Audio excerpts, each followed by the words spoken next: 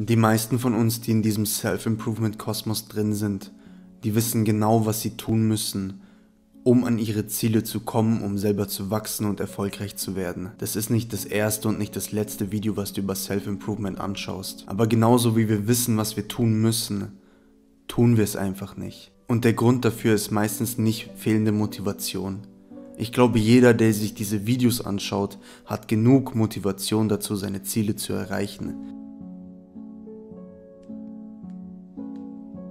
Warum es uns so schwer fällt, das zu machen, was wir machen müssen, obwohl wir genau darüber Bescheid wissen, obwohl wir die Theorie schon in hunderten YouTube-Videos angeschaut haben, vielleicht sogar Bücher darüber gelesen haben. Warum wir es einfach nicht schaffen, ist hier oben unser völlig untrainiertes Gehirn, unser völlig benebeltes Gehirn. Das Gehirn ist so wie jeder Muskel, den du hast. Es muss trainiert werden, es muss benutzt werden. Und der Großteil der Bevölkerung hat noch nie meditiert und findet es vielleicht sogar komisch oder cringe und belächelt dich dafür. Obwohl es genau die Übung ist, die Klarheit und Struktur in dein Leben bringt, die wieder Kontrolle über dich und deine Gedanken, deinen Kopf und dein Leben in dein Leben bringt. Meditation ist wahrscheinlich einer der wichtigsten Grundlagen von Self-Improvement. Und genauso wie bei allen anderen Sachen, die Erfolg bringen, die dementsprechend hart sind, ist die Konstanz, mit der wir es machen, das Ausschlaggebende. Wir wollen die positiven Seiten, die Meditation hat, unser Leben lang genießen, also müssen wir unser Leben lang meditieren. Visualisiert das mal kurz, stellt euch vor,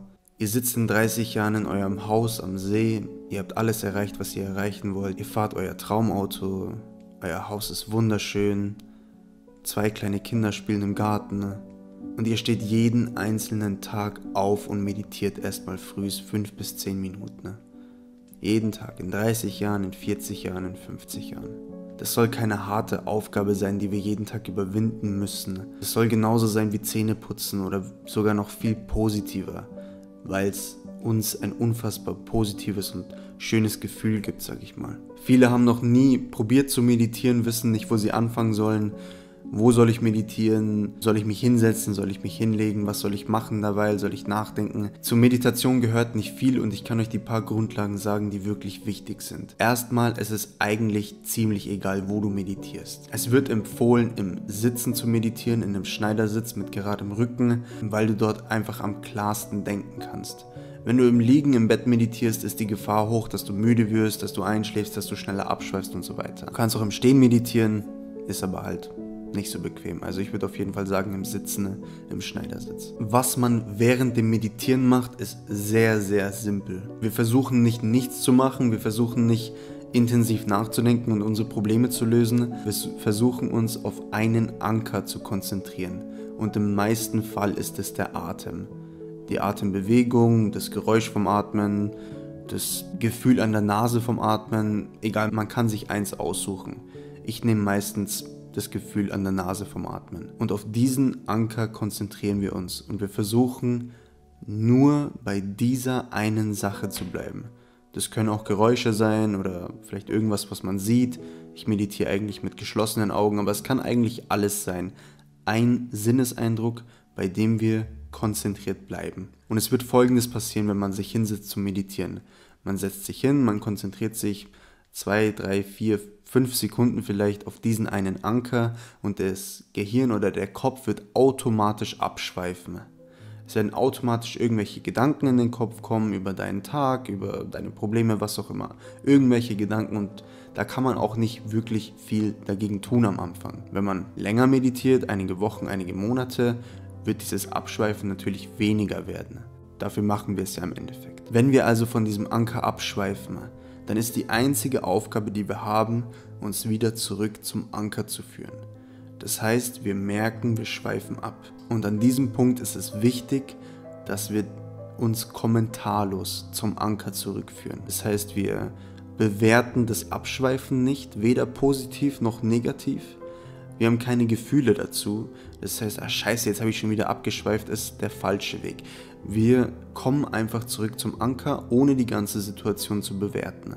Und das machen wir immer und immer wieder. Für am Anfang zwei Minuten, drei Minuten, vier Minuten, bis man nicht mehr still sitzen kann, sag ich mal. Wenn du am Anfang nur zwei Minuten meditierst, ist das vollkommen ausreichend und ein guter Start.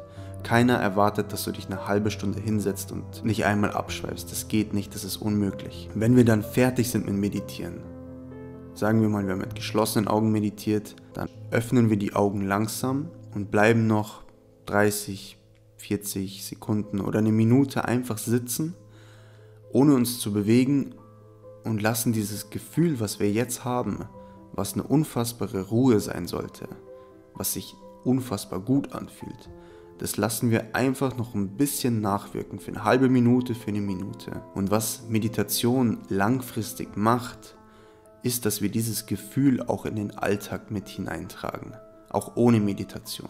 Und dass wir auch im Alltag präsenter werden. Das heißt, dass wir im Alltag mehr im Hier und Jetzt sind und weniger in unseren, ja, in unseren Tagträumen, in unseren Gedanken, die die ganze Zeit vor sich hinlaufen. Dass wir, wie gesagt, auch im Alltag öfters mal darauf aufmerksam werden, ganz automatisch, oh, ich war gerade wieder am Tagträumen, ich versuche mich jetzt mal ein paar Sekunden auf das Hier und Jetzt zu konzentrieren, auf die Geräusche, die hier sind oder auf das, was einfach jetzt gerade passiert, einfach präsent wahrzunehmen und da zu sein.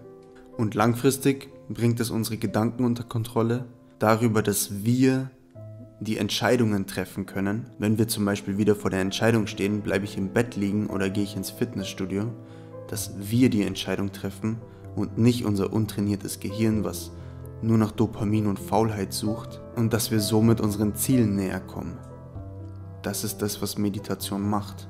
Mehr habe ich wirklich nicht zu sagen. Probiert es unbedingt aus. Ist einer der wichtigsten Sachen, die es in Self-Improvement gibt. Und wir sehen uns im nächsten Video. Hab euch lieb.